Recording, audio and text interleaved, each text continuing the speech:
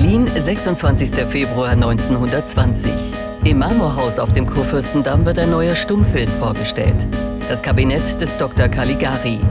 Die fantastische Erzählung um den dämonischen Dr. Caligari ist eine Sensation. Publikum und Kritiker sind geschockt und elektrisiert zugleich. Naja, das ist halt der erste Psychothriller überhaupt. In ihm spiegeln sich Schrecken und Wahnsinn des Ersten Weltkriegs. Was ist das bloß für eine Zeit? Nichts ist mehr so, wie es einmal war. Und das gilt natürlich auch für die Kunst.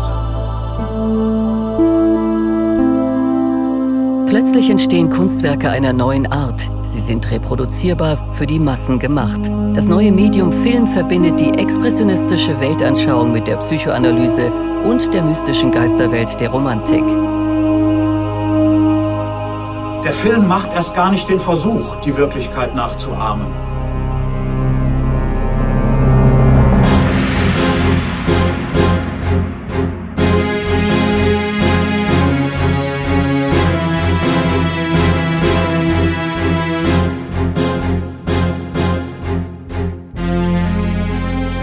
Wir sehen ein künstliches Weltbild voller verfremdeter Kulissen und ungewöhnlichen Kameraeinstellungen.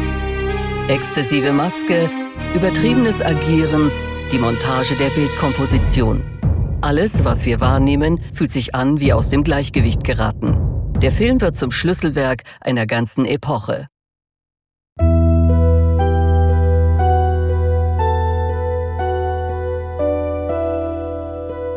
Werner Kraus spielt den Direktor einer Irrenanstalt, der aber ein Doppelleben führt.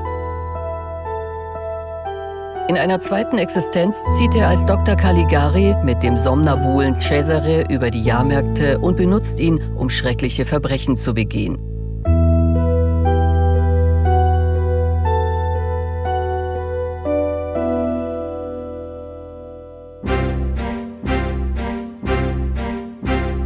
Mit den Filmen der Weimarer Republik habe ich mich schon in den 70er Jahren beschäftigt.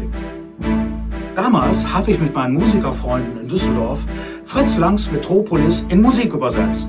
Und dabei bin ich natürlich auch auf das Kabinett des Dr. Caligari gestoßen.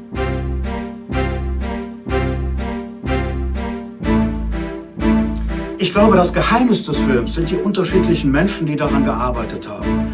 Es war einfach eine großartige Begegnung von Kreativität. Und das erinnert mich auch ein wenig an unsere glücklichen Jahre im Klinklang-Studio.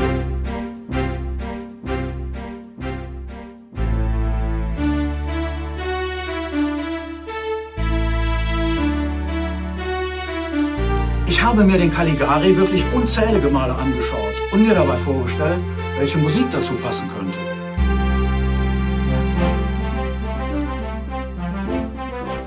Das Kabinett des Dr. Caligari ist ein Produkt des 20. Jahrhunderts. Seine Handlung spielt jedoch im 19. Jahrhundert und in einer Rückblende wird eine Geschichte aus dem 18. Jahrhundert erzählt, also zu Lebzeiten von Johann Sebastian Bach.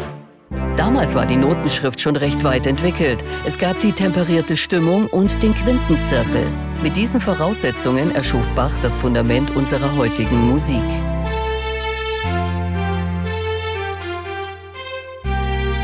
Und schon bin ich beim Sinfonieorchester. Denn was könnte die drei Zeiträume besser miteinander verbinden als dieser traditionelle Klangkörper? Ich habe dann die Musik am Klavier komponiert und die Partitur geschrieben. Aber natürlich wollte ich mein imaginäres Orchester auch hören. Und hier kommt mein Partner, Toningenieur Matthias Black ins Spiel. Im elektronischen Studio haben wir den Klang der Instrumente modelliert und unser Filmorchester lebendig werden lassen.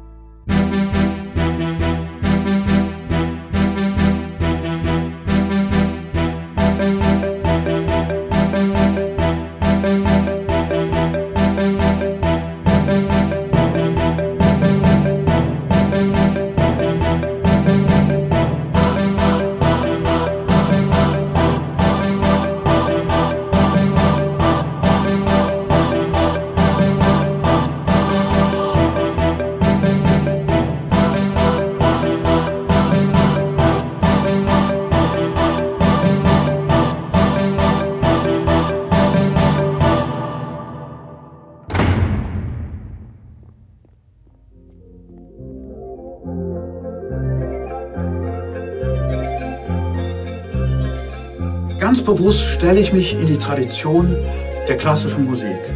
Von Bach bis Tief Reich. Populäre Musik und elektroakustische Musik inbegriffen. Denn eigentlich geht es ja nicht um alte oder neue Musik, sondern um Musik, die früher oder später komponiert wurde.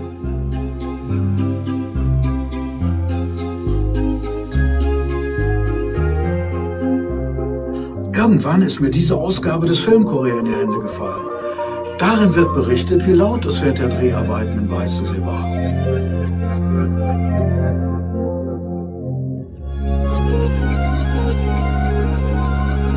Diese Stimmen, Geräusche und Klänge vom Set hätte ich wirklich gerne gehört.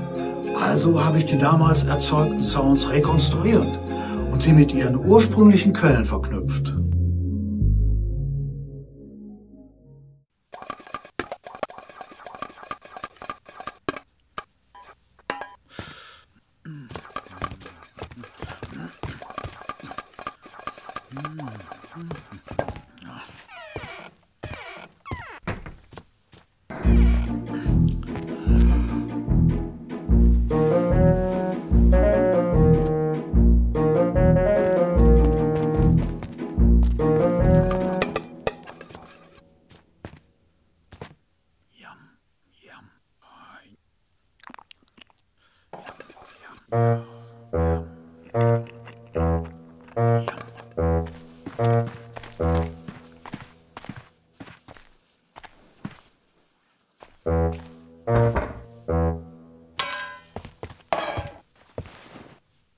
Matthias und ich haben dabei keine naturalistische Klangkulisse im Kopf.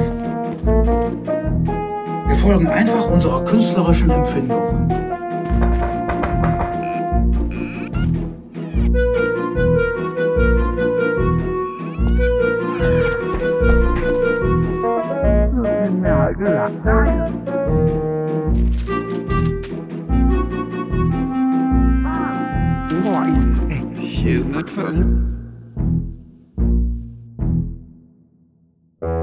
Wir stellen uns vor, dass der Protagonist Francis seine Traumwelt mit Kaleidoskopohren wahrnimmt.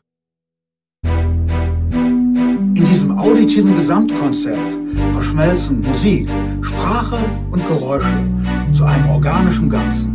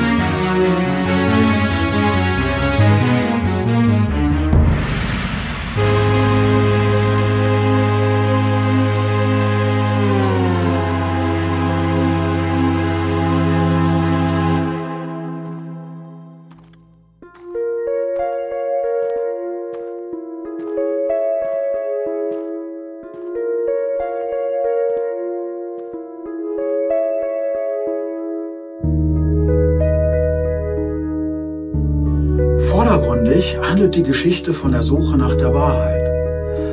Am Ende stellen wir allerdings überrascht fest, dass es viel mehr um das Verschwinden der Wirklichkeit geht. So haben es die Menschen 1920 empfunden und genau so empfinden wir heute wieder. Und deshalb denke ich, hat uns das Kabinett des Dr. Caligari auch nach 100 Jahren immer noch etwas zu sagen.